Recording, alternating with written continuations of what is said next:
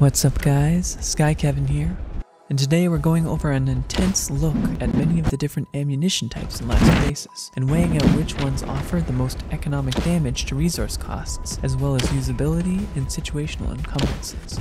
So, let's get started.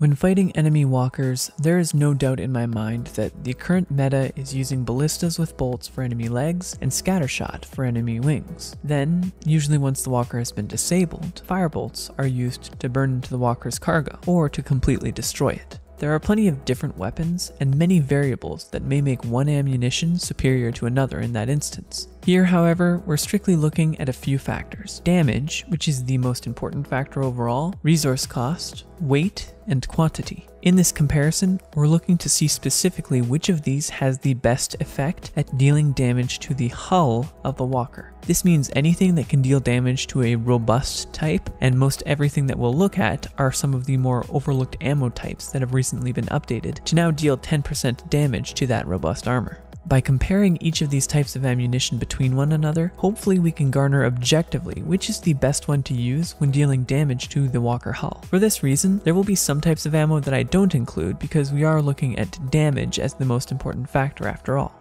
I began by looking at the total damage of each ammo type based on the crafted amount and total damage if all of that amount were used. So for example, when you craft darts or floating mines, every craft will give you 8 shots of that ammo type. In this case, floating mines deal 150 damage times 8 because there are 8 of them per craft, meaning they will also deal 1200 damage per craft of the recipe, which at 10% damage to robust will do a total of 120 damage per craft. Essentially, that's how we can standardize all of the different ammo types. Conversely, something like flint bolts simply crafts one at a time, so we can then match them up accordingly. Flint bolts deal 125 damage, which works out to 12.5 damage to robust per craft. So when looking at all the ammo types at face value, we can see obviously firebolts deal a swift 850 damage per bolt. The next highest being floating mines at 120 damage per craft, and scattershot at 96. But Let's keep in mind, despite the damage difference, we are also looking at other factors like the resources required and weight of the ammunition. To go into detail on this, I wanted to compare similar damage to resource cost ratios to see whether there's anything that might turn out technically better. Seeing as the current meta uses mainly ballista bolts, I wanted to start there with comparisons between the different types of bolts. By taking bone bolts at 15 damage per craft, it takes 2 wood shafts, 3 bone splinter, and 15 fiber. To craft a flint bolt, it deals 12.5 damage per craft and takes 2 wood shafts and 5 stone. Additionally, I wanted to see whether weight would be a large factor in the ammunition, and so it worked out to be 0.3 and 0.7 kilograms respectively per crafted bolt. Then I simply had to find the equilibrium between the two and update the resources and weight required to fit the number of shots needed for that damage amount. In this case, we can see that bone bolts at 187.5 damage will take 25 wood shafts, 37.5 bone splinter, and 187.5 fiber, while weighing 3.75 kilograms. The flint bolts, on the other hand, at 187.5 damage, take 30 wood shafts and 75 stone with a total weight of 10.5 kilograms. I think by visualizing what's on screen, it can help for you to decide for yourself which of these resources is more costly to obtain. To have the same damage between the two ammo types, you can either use 25 wood shafts, 37.5 bone splinter, and 187.5 fiber, or 30 wood shafts and 75 stone. If we wanted to, we could cancel out the 25 wood shafts for the 30 wood shafts and instead put 5 extra, but for simplicity's sake and many of the future examples, I'm not going to include that. Now, as an aside, we could go into further detail and also break down the exact resources required for things like wood shafts to just simple amounts of fiber and wood. But other than factoring in the extra gathering and crafting time, I think it would also only complicate things for this purpose. So now that we know all this and can compare them in simpler terms, I can say that in most cases I'm fine with using flint bolts and would probably use them over bone bolts in most situations, at least when it comes to opening a walker hull, despite the weight difference. Because even after needing 1200 of them to deal 15k damage to a walker, I would say that it's much more costly to come across the resources required to make bone bolts than it is for flint bolts, and you're not really getting that much more of a damage increase. Now, keep in mind, as we compare further, we will have other options that may be better to choose from. So let's carry on and compare the next tier up.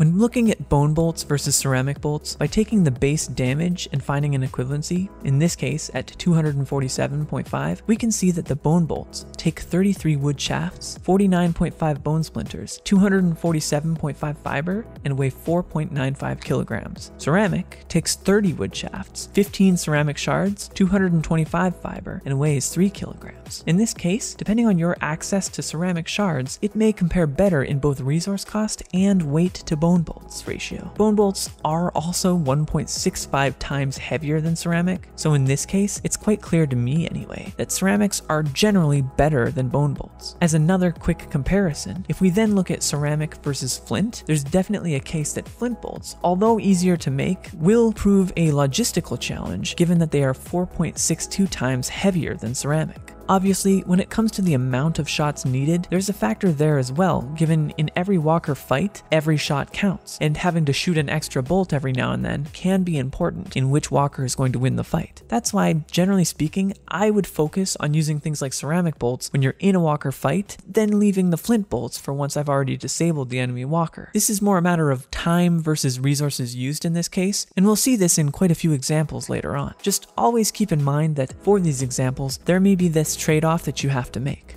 So, we've established flint bolts are generally speaking the most economic choice for dealing damage to a walker hull. Now, let's compare to a completely different ammo type.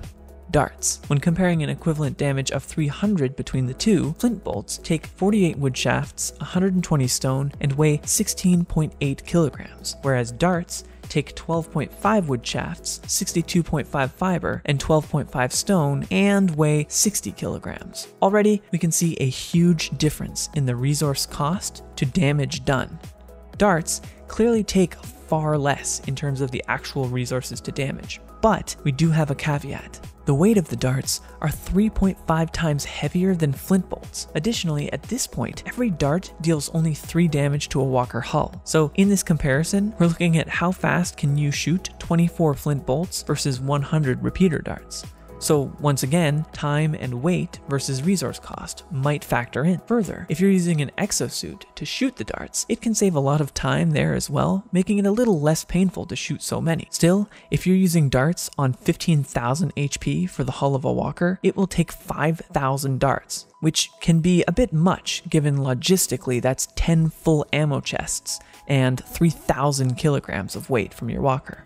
Still, in this example, chances are if you're using flint bolts, you probably have things locked down already in the fight. So a step over to darts might not be so bad, and an exosuit shooting 100 darts out of both hands might actually be as fast as shooting those 24 flint bolts to reach the same damage amount. Now, let's continue on to the next example and look at darts versus scattershot. Seeing as four crafts of darts are equal to one craft of scattershot, it's a pretty simple comparison. At 96 damage, darts take 4 wood shafts, 20 fiber, 4 stone, and weigh 19.2 kilograms, whereas scattershot takes 20 stone, 4 fiber weave, and weighs a total of 1.8 kilograms. So once again, I'd say darts still win out over scattershot over the resource cost to damage ratio. They are quite a lot cheaper. However, in this case, ask yourself, how quickly could you shoot 6 scattershot versus 32 darts for the same amount of damage? Couple this with the fact that darts are 10.6 times heavier than scattershot, and they are, in my opinion, a much less realistic ammo type, as opposed to scattershot, which, given the low weight,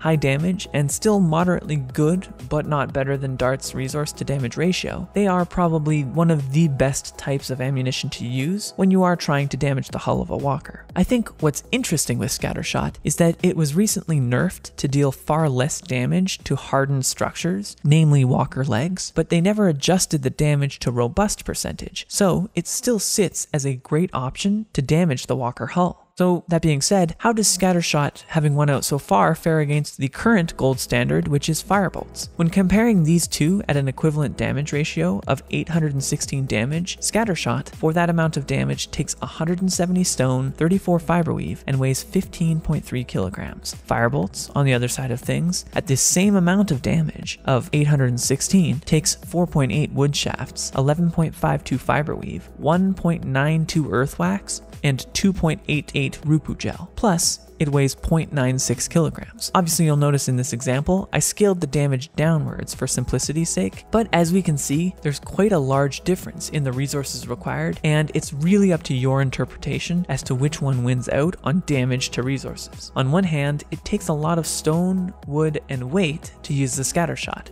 especially considering it weighs 15.9 times more than firebolts. But on the other hand, firebolts take extra wood shafts, earth wax, and Rupu gel, which is obviously a very time consuming resource that requires very hands on farming. So, once again, stone and fiber weave versus wood shafts, fiberweave, earth wax, and Rupu gel. Now, keep in mind, firebolts do also take about 10 minutes to fully burn, whereas in this example, you're shooting about 51 scattershot to reach that same equivalent damage. So, time factors may be negated depending on how many firebolts are necessary for that walker. So let's move on to some other less popular options. Looking at the siege ammunition that isn't generally used in the current meta, if we take Scattershot Match that up versus small boulders at a damage equivalency of 432. Scattershot takes 19 stone, 18 fiberweave, and weighs 8.1 kilograms, whereas small boulders take 144 stone, 19.2 fiberweave, and weighs 2.88 kilograms. This to me was a very surprising result because the resources required are very, very similar, albeit the higher stone cost, and yet the small boulders weigh 2.8 times less than Scattershot. So from a logistics perspective, perspective, carrying small boulders to damage walker hulls isn't really all that bad, especially if you consider stone an easy resource to farm en masse. Keep in mind that small boulders are only shot out of a sling, and in this example, you need to shoot 9.6 boulders for every 27 scattershot that you're using. So chances are it will be slower, especially if you're using the slingshot, but not by much. I will mention the tooltip on the small boulder says it deals damage based on the speed of the shot from the sling, and I'm using the tooltip stated damage amount for this calculation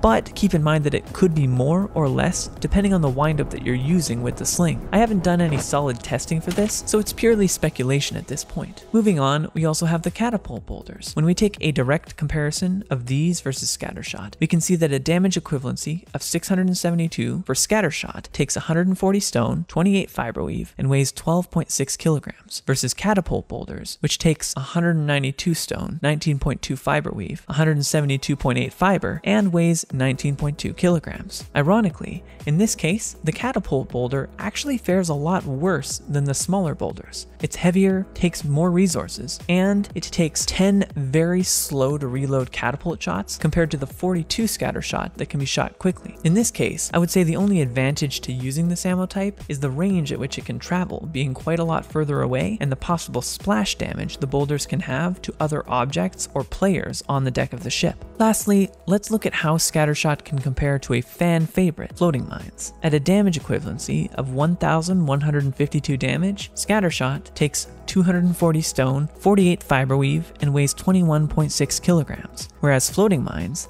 takes 76.8 wood shafts, 307.2 feathers, 115.2 lava, and weighs 46.08 kilograms. I was quite surprised to find out that floating mines end up weighing more than scattershot, and the resources required between the two ammo types are completely different, so it's difficult to say and probably depends on your accessibility to a lava tile for those ingredients. I would say that these two are fairly similar, other than the floating mines weighing twice as much. They're just so different in pretty much every way that I wouldn't necessarily knock one or the other. It just comes down to the circumstances of the battle at that point. Just for fun, I did want to compare darts versus firebolts to see how they match up, given it is technically the best damage to resource ratio. I was not surprised to find out that at 2040 damage, 510 darts would take 85 wood shafts, 425 fiber, 85 stone, and weigh 408 kilograms, whereas the 2.4 firebolts to have that same equivalent damage would take 12 wood shafts,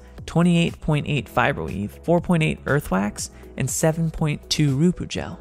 Already we can see that, quite obviously, shooting 510 darts might be far more tedious than 2.4 fire bolts, but this does raise another question in my mind, one that sparked the idea for this video in the first place. There are many different ammo types that we've seen, and knowing the strengths of one over the other can really help your decision making process when you're using them in a fight. Let's remember that you're not just forced to use that one single type of ammo in this game. If you're sitting there staring at fire arrows in the side of a walker for 10 minutes, why not spend that time with your crew using scattershot or darts in tandem to save a few fire arrows in the long run? If you're clan has five players with the right setup, they can burn through a lot of ammunition very quickly with things like exosuits, remote ballistas, and sinus destroyer potions. Realistically, you won't be putting 10,000 repeater darts on your walker just so that you can zero one ship but why not a couple of repeaters or scattershot just in case? The ammunition used is objectively more efficient than the current meta. This can even extend to other circumstances. If you're in a large walker fight, put a couple repeaters on deck to harass walkers from a distance. The ammo is so much cheaper that it doesn't matter if you miss 90% of the shots, and you won't have your crew wasting the more expensive ammunition on Hail Marys across the map, while still harassing the enemy. Indeed,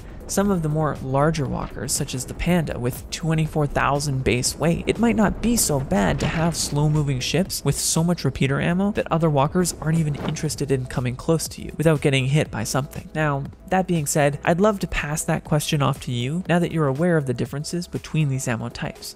What would you fill your walker with, and is there any merit to using something other than firebolts to attack a battle or proxy walker? As always, I'm constantly making more videos on Last Oasis and other MMOs just like this one, so don't forget to subscribe to my channel for more videos, as I'm sure there will be meta and balance changes in the future that need updating. I hope you found this talk interesting, and maybe learned something along the way.